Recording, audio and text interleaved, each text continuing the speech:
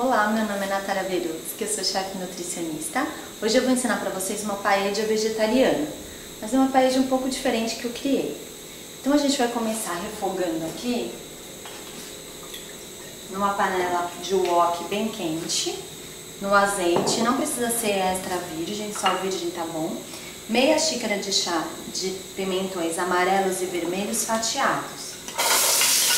O pimentão é um legume super versátil e também é rico em vitamina C e beta-caroteno. Eu vou refogar ele com um quarto de xícara de chá de alho poró fatiado. Vou deixar ele murchar. Enquanto ele murcha, eu vou falando dos outros ingredientes. Nessa receita vão quatro tipos de cogumelos. Aqui a gente tem o shimeji, o portobello, o champignon fresco e esse cogumelo super diferente chama Ereinki. Eu compro eles sujos porque eles duram mais. Então você só passa um guardanapo neles, limpando bem. Eu fatiei esses dois cogumelos, esse daqui você solta, esse daqui você fatia. Então eu vou usar quatro cogumelos é, portobello, quatro champignon, dois do erinque e mais ou menos meia xícara de chá do shimeji.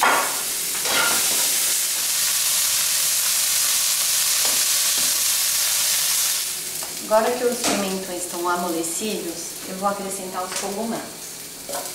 E aí eu vou deixar eles amolecerem também, para poder acrescentar os demais ingredientes.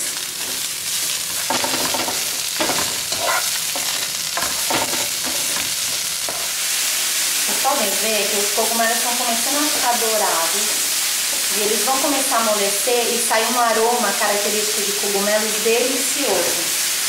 Nesse ponto aqui, eu vou começar a picar os outros ingredientes, que é bom cortar na hora. Então aqui eu vou usar tomate cereja e esses tomatinhos aqui, que são maravilhosos, eles são ligeiramente adocicados e dão uma cor incrível na paella. Então eu vou usar tanto tomate cereja, o vermelhinho, quanto, quanto esse alaranjado. Esse daqui que é maiorzinho, dá pra cortar em três partes. Eles ficam uma delícia, né? Já piquei os tomatinhos. Agora eu vou picar a salsinha, que vai ser a finalização do nosso prato. É sempre importante usar uma erva fresca. Não só para dar sabor, que daí você acaba usando menos sal, por exemplo, mas também porque a cor e a textura da erva, o aroma que ela solta, é incrível se ela tá fresca. Eu vou picar bem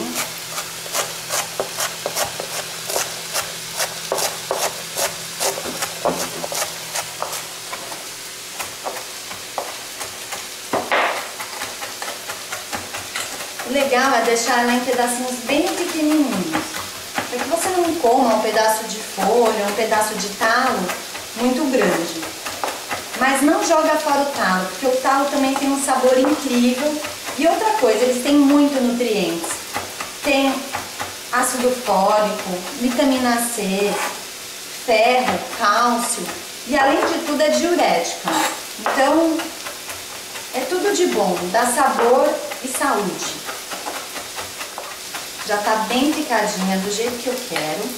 Agora que os cogumelos já estão bem molinhos, douradinhos. Eu aumentei um pouco o fogo, porque ele tá um pouquinho de fogo baixo, fogo médio na verdade. E agora eu vou acrescentar o próximo ingrediente. Aqui eu coloquei vagem, vagem picada em rodelas. Eu coloquei ela um pouco na água, uns 4 minutos, e piquei em rodelas. E aqui tem ervilha. O ideal é usar ervilha fresca tá? Então você aferventa ela da mesma forma que fez com a vagem. E daqui já dá pra pôr algum tempero. Eu vou acrescentar sal, mais ou menos uma colher de chá de sal. Vou acrescentar um dente de alho. Por que, que eu coloco o dente de alho aqui? Porque ele, se, se ele ficar muito tempo ali refogando, eu acho que ele fica um pouco amargo. Então eu gosto de acrescentar o dente de alho nesse ponto aqui. Vou acrescentar também um pouco do açafrão, então mais ou menos uma colher de chá de açafrão. Açafrão extremamente antioxidante, maravilhoso para a saúde, dá uma cor, um sabor e um aroma incrível no prato.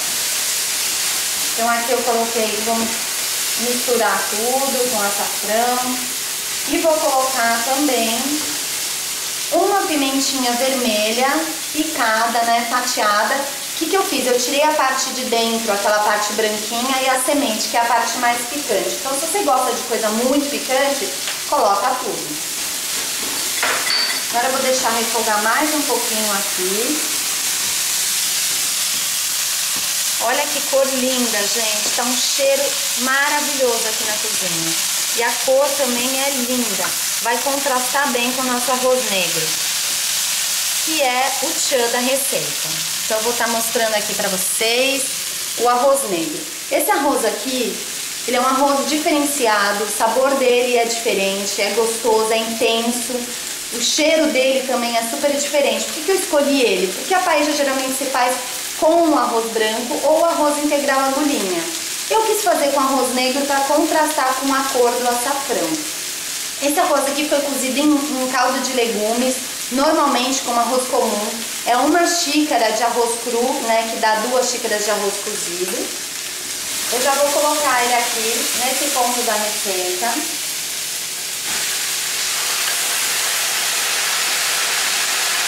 E agora vamos misturar tudo para incorporar e ver como vai ficar esse prato maravilhoso.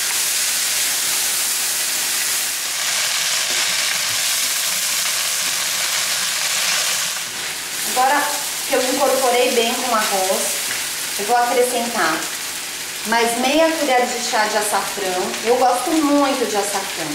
Então se você não gosta tanto ou não é, acha que tá bom nesse ponto, não coloca mais. Mas eu vou colocar porque eu acho que cabe mais açafrão aqui. Vou acrescentar os nossos tomates, que além de dar mais sabor, vai dar uma cor maravilhosa. E por que, eu acrescento aqui o tomate? Eu gosto da textura do tomate, eu não quero que ele fique molenga. Então, olha que lindo. Ai, que delícia. Tudo de bom, tudo de bom. O cheiro maravilhoso. Vocês têm que experimentar essa paella na casa de vocês. Tá pronta. Agora eu vou colocar aqui no prato para vocês poderem ver que linda que ela ficou. Essa paella. Maravilhosa. Gente. Olha que delícia. Não, tá dando água na boca. De tão gostosa e linda que ela tá. E agora a gente vai finalizar essa paete com a nossa erva fresca, que é a salsinha.